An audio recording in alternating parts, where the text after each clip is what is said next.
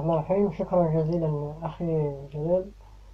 أه، أولا وقبل كل شيء. حياة قيد الأخوي هو دراسة اجتماعية تندرج في ضمن علم الأنثروبولوجيا في الجنوب والغرب الجزائري. دراسة تهتم بما كان يعيشه الأسلاف حياتهم عاداتهم تقاليدهم وكل ما يتعلق بهم في حالهم. وترحالهم كتبتها بناء على الأفكار القاعدية التي أكتسبها بناء على تجربتي وبناء على ما عايشته من آه، الواقع المعيش في ولاية البيض ولكنها تنطبق على العموم بالنسبة إلى الجنوب والغرب الجزائري تكون من عشر فصول كاملة.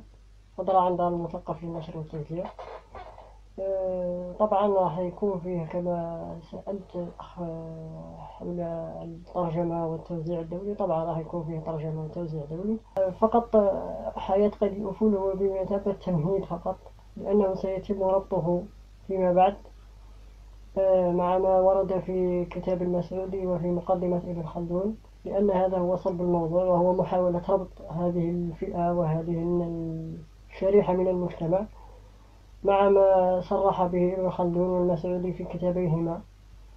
آه، سنعود بحول الله إلى هذه الشريحة بداية من تاريخ قرطبة والأندلس حتى يومنا هذا. ونحاول معرفة من نكون ومن نحن ومن أين أتينا ومتى دخلنا إلى الجزائر أو المغرب الأوسط كما يدعى في التاريخ. ولأننا دخلاء على هذا المجال أي مجال التاريخ عشر فصول نعم عشر فصول قسمتها على أساس يعني محاولة الوقوف على قدم وساق على هذا الرجل البدوي. فتكلمت عن الحياة العادية يعني في الأيام العادية تكلمت عن الطفل في البداوة وتكلمت عن آه، موضوع آه، الحفلات. وهو غالبا ما هو غالبا الذي يلخص عادات وتقاليد هذه الفئة بحكم أن العادات والتقاليد تظهر جليا في العادة في المناسبات. تكلمت أيضا في فصل مستقل عن الخيول وكيفية التربية وكيفية شرائها وماذا تستهلك من أعلاف وما إلى ذلك أي بمختصر يعني حاولت التخصص أكثر في في الفانتازيا وهي معروفة عندنا بكثرة.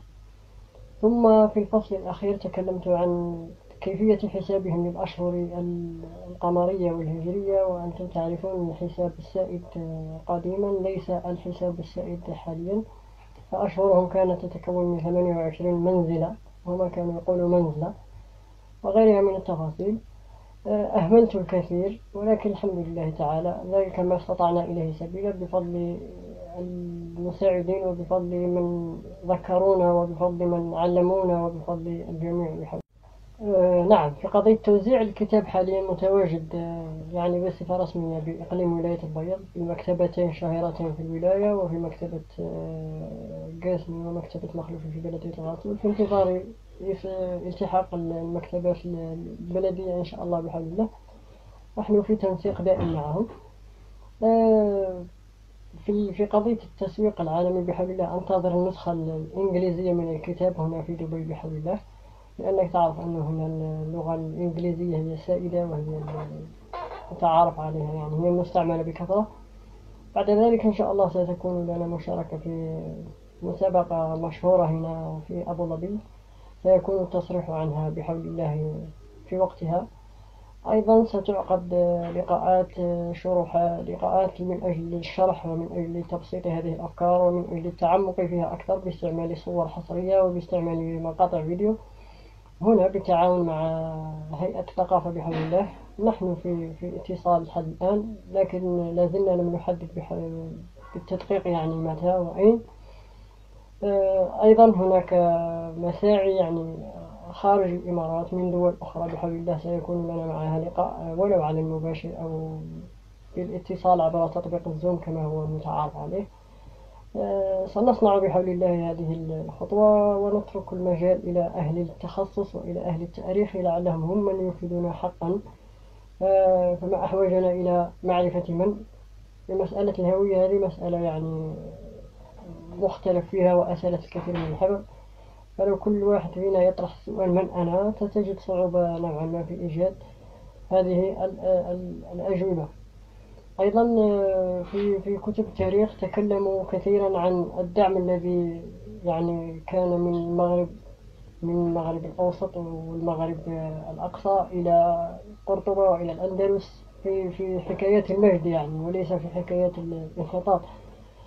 كان هناك دعم من من شمال إفريقيا كما كما نظن يصطلح عليه الحين فمن هؤلاء الذين دعموا المسلمين حتى يعني حتى استوطنوا في في إسبانيا المعروفة الآن بإسبانيا.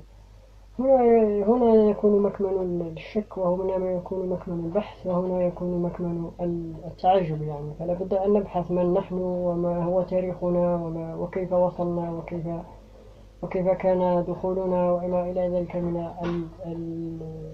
الأمور المتعلقة بالتاريخ. لكن بحول الله تعالى وحسن رعايته سنلقى الدعم والتوفيق والسداد بحول الله.